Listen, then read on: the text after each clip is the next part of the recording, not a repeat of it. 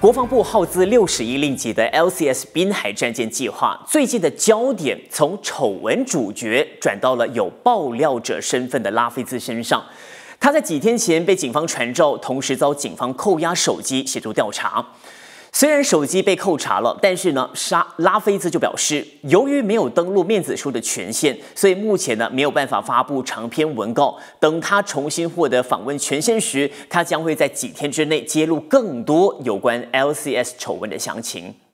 另一边厢，公正党新山谷会议员阿克马今天下午前往反贪会报案，要求要求当局调查阿杜拉迪夫在 LCS 项目当中的利益冲突以及大笔资金的去向。同时，他也促请当局应该要对在纳的身份展开调查，因为稽查报告显示，大笔资金外流到的两家离岸公司都跟在纳有关系。他担心在纳对阿都拉蒂夫来说，可能像是扮演着像刘特佐在 OneMDB 丑闻里的角色，因为他的名字出现在 LCS 计划的许多地方。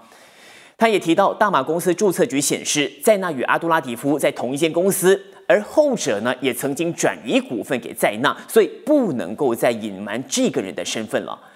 阿克马补充，如果阿杜拉迪夫真心想要洗脱冤屈，就应该公开在那的身份，不能让他像刘特佐一样消失。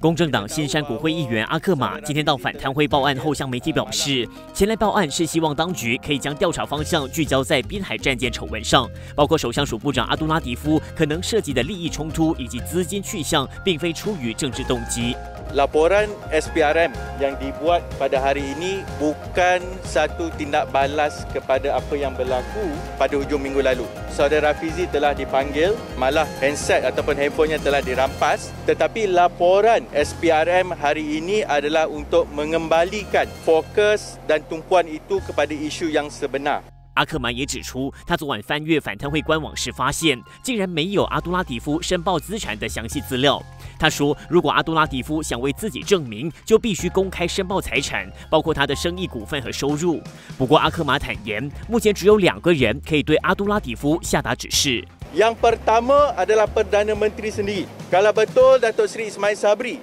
nak bersihkan isu ini. beliau perlu mendesak Dr. Latif untuk isytiharkan harta secara terbuka dan yang kedua yang sebenarnya ada kuasa adalah Tan Sri Muhyiddin iaitu pengurusi Perikatan Nasional.